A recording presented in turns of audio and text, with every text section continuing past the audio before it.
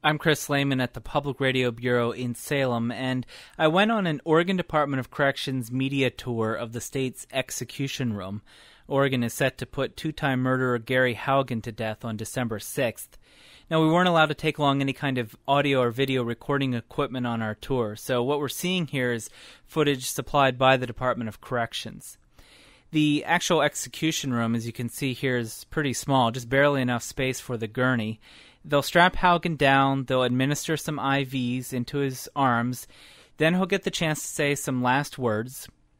And uh, then the executioner, who is actually going to be on the other side of a glass wall, the executioner will administer the lethal injection.